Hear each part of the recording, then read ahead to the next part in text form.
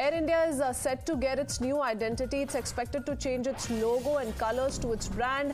Uh, the name Air India is also expected to be continued, though. So that's uh, one continuity that's that's going to be witnessed. The name is not going to change; it's going to remain India, but we're going to be looking at a change in the logo and the color. I believe, Arunil.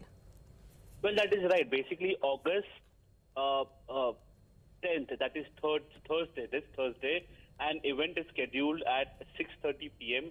at a prominent hotel in uh, in New Delhi. That that is where uh, Air India will be embarking. Seems to be uh, getting this new initiative of embarking on a new journey.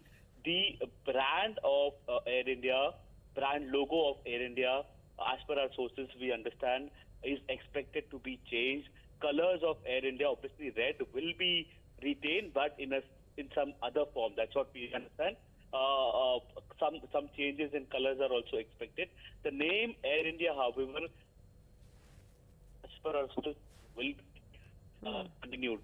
Okay, perhaps that also means the iconic Maharaja will no longer be used as a mascot of the airline. We're uh, still to receive final details of the same, but that's uh, some news coming in in the interim. Arunil, many thanks for joining us with the latest.